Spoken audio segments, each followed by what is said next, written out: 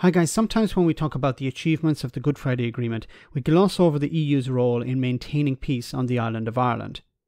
The main protagonists, of course, are the parties there and the British and Irish governments, along with the support provided by the US President and his administration.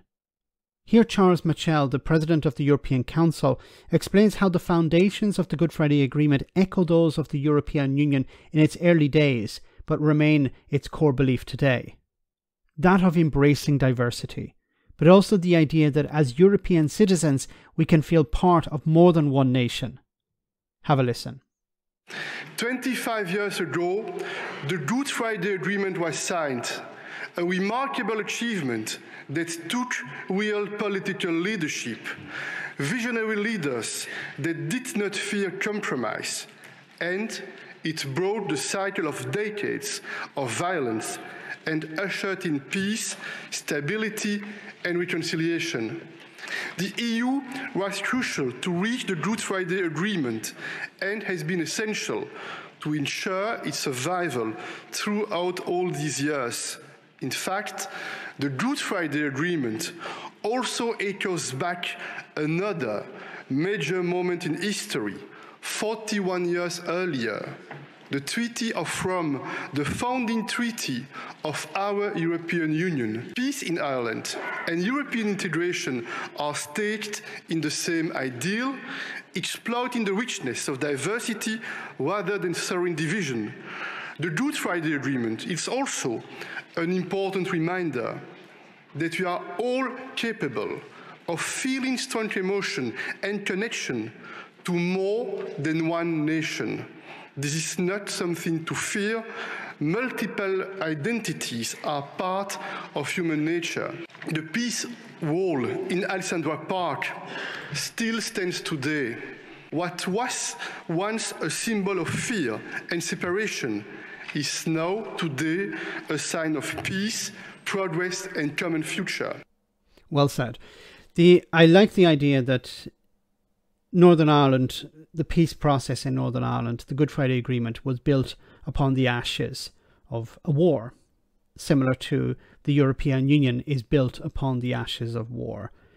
And an embracing of diversity, different opinions brought together, as you can see here in the European Parliament. This idea that, you know, we, we are from different nations, but we are all Europeans. And this, I think, needs to be the belief in in Northern Ireland as well. You know, people have different opinions, people have different points of view, different religions, but they can come together and try and create something for the future. And in in another video I uploaded, it was you know John Hume, one of the architects of this agreement, talked about how it's so important that politicians focus on what's important to people, not just focus on tribalism and flags, but to focus on what is the bread and butter issues, getting a job for young people, buying a house, paying the bills, cost of living. These are the issues that are facing young people today and the next generation. And it, there's an onus on politicians to focus on that.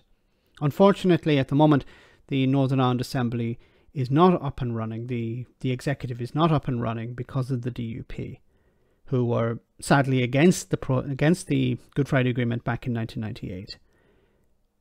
But hopefully they can be brought into the fold. They can put their petty differences aside and join the executive because that's what the people of Northern Ireland want. They want a functioning government they want it to be focusing on the needs of the people of Northern Ireland. Just like the majority of people in Europe want the European Parliament focusing on the issues that affect Europeans. But I really like what he said here about how Europeans can feel, you know, Italian, French, German, Belgian, whatever, but they can also feel European. And I think there's a growing feeling there. And hopefully in the future, Britain will join and feel European too. Let me know in the comment section, guys, what you think.